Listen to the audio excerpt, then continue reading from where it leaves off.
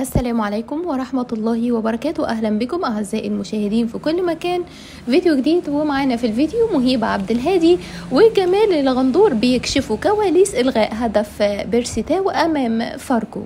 هنشوف في الأول كابتن مهيب عبد الهادي وهنرجع نكمل مع حضراتكم في نهاية الفيديو.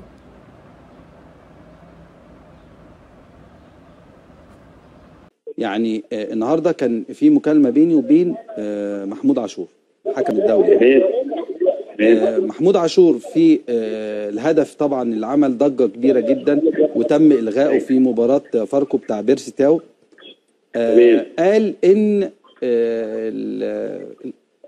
يعني الكمبيوتر أو الوحدة في الفار إديته مرتين بعد ما حط الخطوط اللي حضرتك اتكلمت عليها وحط الكتف في الكتف. إديته تسلل مرتين. تمام؟ و... و... والكلام ده موثق بالفيديوهات. وت... وتم إرسال الفيديو إلى أحد التقنيات العالية خارج مصر. واقرت إن الكرة أوفسايد. طبعا أنا مش مقتنع بالكلام ده تماما لأن أنا رؤية العين الكوره هدف سليم 100% ماليش دعوة بقى بالكمبيوتر بالكمبيوتر والحاجات اللي حصلت في غرفة الفار الهدف. لكن هو الراجل تعامل مع اللي حضرتك بتقوله. حط الخط. الكتف في الكتف طلعت له offside أول مرة. حط الخط تاني الكتف في الكتف طلعت له offside تاني مرة. عشان كده حسبها. offside أنا عايز ألخص ده في إيه؟ إن محمود عاشور لم يكن متعمدا إن هو يحسبها offside ده من وجهة نظري. لا لا على فكرة طيب اسمح لي اتكلم اتفضل أنا خلصت. ونطبق الكلام على الحاله بتاعت النهارده. اتفضل. الحاله بتاعت النهارده انت رأيك فيها إيه؟ آه آه لا أوفسايد. طيب يعني هي واضحة. واضحة. طب انت شفت الخطوط؟ كانت المسافة بينها قد إيه؟ مفيش حاجات بسيطة. سنتيمترات. بالظبط. بص يا تقنية التسلل اللي موجوده في غرفة الفار فيها ثلاث مراحل. simple وال double وال triangle امم simple لما تكون الخطوط على الأرض فبنعمل خطوط على الأرض سهلة جدا ما حدش بيغلط فيها. ال double لما بيكون في أحد الطرفين بيكون جسم جزء في الهواء والثاني جزء على الأرض. ال triangle لما يكون الطرفين الجزئين من المدافع والمهاجم آخر جزء منهم بيبقوا في الهواء. فدي بيتعمل لها مسقط عمودي ومسقط ومسقط رأسي عادي. كويس؟ يعني من فوق وعرضي. لما تتعمل بال- بال double زي ما قال الكابتن محمود طلع التسلل فحبوا يتأكدوا منها فعملوها بال triangle اللي هي الأدق. فبالتالي زي ما انت حضرتك قلت وإن كان في مكالمة بينك وبينه إن هو عملها بال double وثم بال triangle هو ما بيقولش تسلل ولا لأ على فكرة الجهاز هو اللي بيقول. برافو عليك هو هو ده اللي حصل. هو هو بعد كده بتطلع النتيجة على الشاشة. آه. ممكن حضرتك تشوف الخطوط ممكن تشوف الخطوط اللي على الشاشة من عند بطن اللاعب من عند صدره. من فوق دماغه. دي دي النتيجة.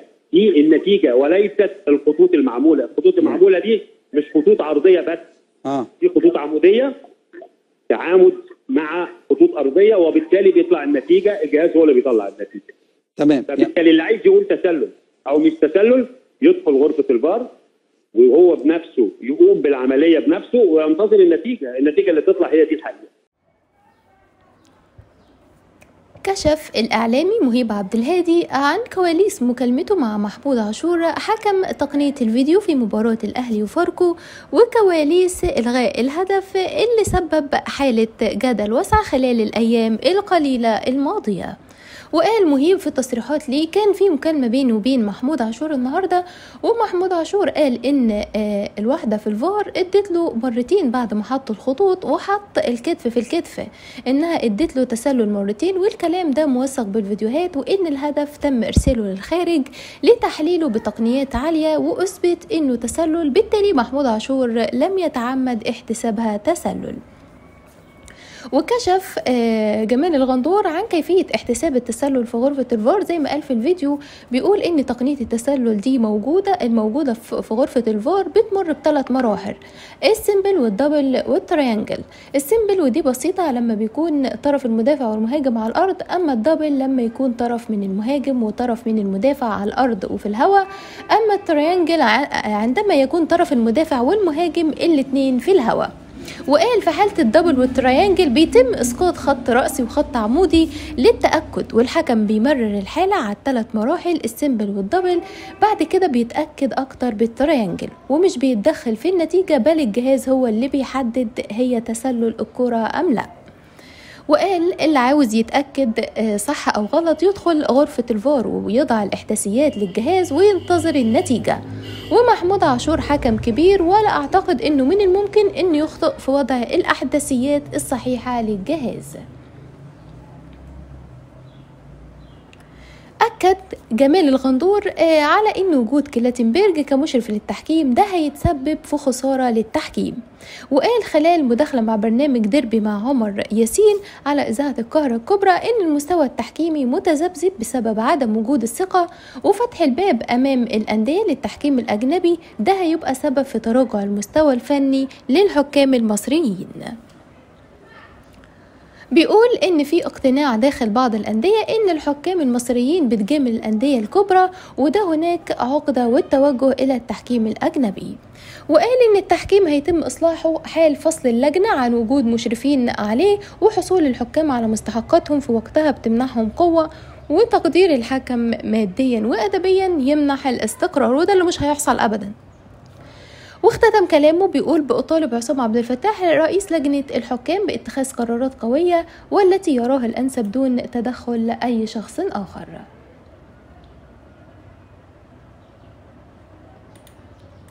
هنشوف صفقة من العيار الثقيل مهيب عبد الهادي بيفجر مفاجأة حول تعاقد الزمالك مع لاعب النصر.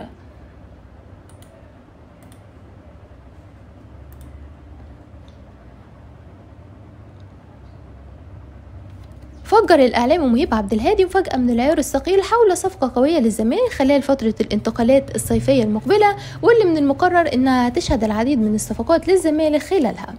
كان الزمالك تم حرمانه من القيد حسام أشرف بعد توقيعه الأكاديمية في الكاميرون لتسويقه أدت لعدم قيام الزمالك لأي صفقات لمدة موسمين. وقال مهيب عبد الهادي إن إدارة الزمالك دخلت في مفاوضات جاده مع لاعب نصر نادي النصر السعودي ونجم منتخب الكاميرون فينسنت أبو بكر لضمه خلال فترة الانتقالات المقبلة. أكد لاعب الزمالك والأهلي السابق رضا عبد العال على إن الأهلي لا يجب أن يشتكي من التحكيم لأنه استفاد منه زي ما اتضر منه. وإن الأهلي ده سبق وساند لجنة التحكيم فليه دلوقتي بيعترض؟ وقال رضا عبد العال اتحاد الكرة كان مستني الزمالك يقع النهاردة علشان يعلن عقوبات على على حكم النادي الأهلي عشان تعثر الزمالك هيدي أمل في المنافسة تاني. وقال أنا عاوز أعرف الأهلي بيعترض ليه؟ مش أنت اللي وقفوك وقفوا لك ماتش سيراميكا سبع دقايق وفضلوا يقولوا لأمر الدولة احسب بنالتي وهو فاول على محمد محمود أصلا وقبلها لمسة يد على بيرسي تاو وقبلها offside وقال بعدين مش الزمالك لما كان بيحصل له أي مصيبة كان الأهلي بيطلع يساند التحكيم ولجنة الحكام ليه بتعترض دلوقتي؟ في تناقض ما بين الإعلاميين والفنيين وكمان أيضا الحكام الدوليين سواء السابقين أو اللي هم موجودين في العمل. حتى الآن وبصراحة يعني آه الهدف كتير من الحكام أثبتوا إنه إنه هدف صحيح بنسبة 100% ولكن دي مؤامرات بتحصل على النادي الأهلي. فإن شاء الله بنتمنى إن كل المشاكل دي تتحل قريبا علشان خاطر النادي الأهلي ويحسم مصيره من الدوري السنة دي وإن شاء الله بقى العقبة في الموسم الجاي. شكرا لكم